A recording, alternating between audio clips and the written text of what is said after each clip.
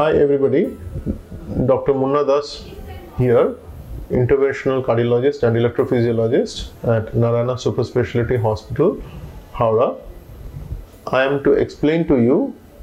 regarding electrophysiologic study and RF that is radio frequency ablation within a few minutes.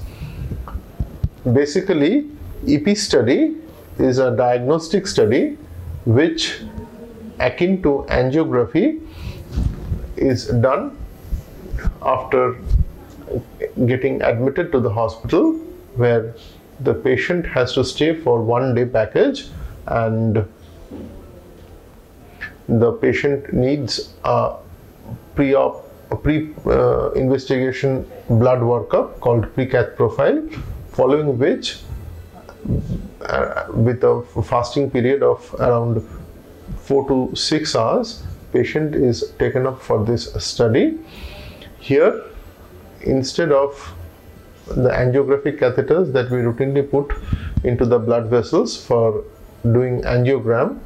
we we put solid catheters here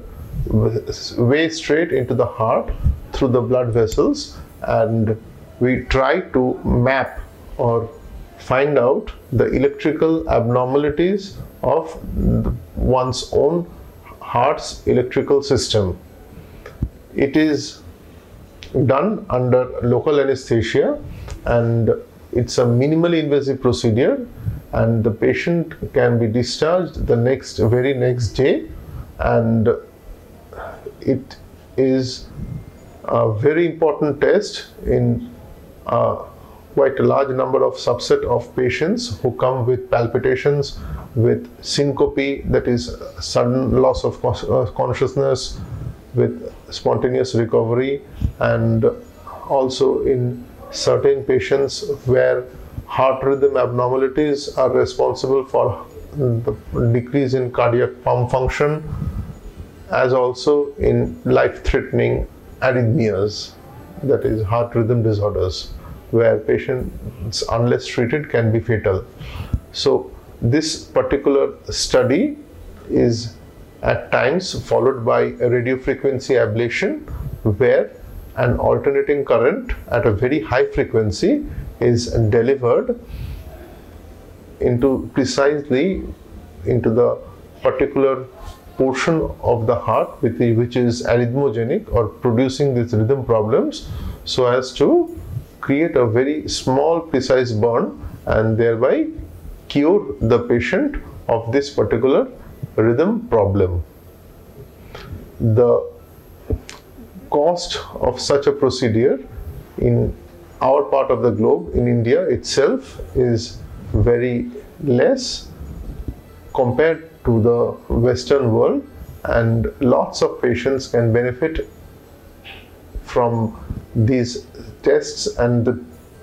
treatment because here most of these entities are curative. Unlike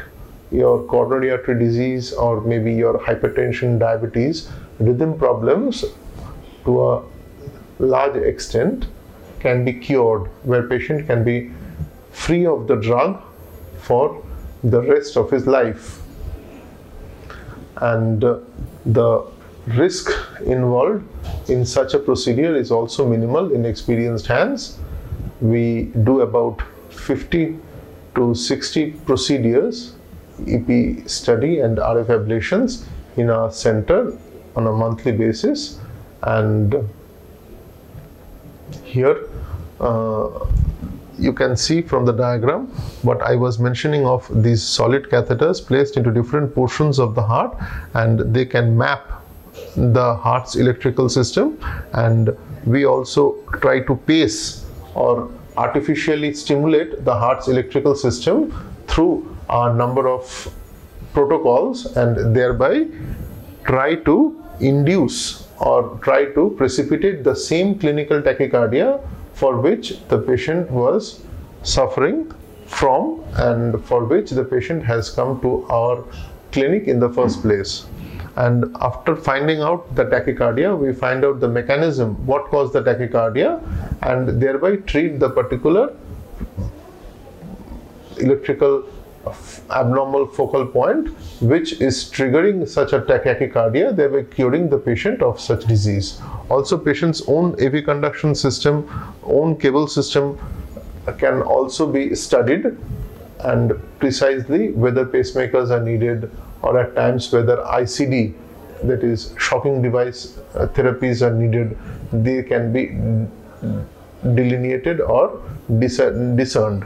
So that way it is a very useful test followed by RF ablation which is in most cases curative for the patient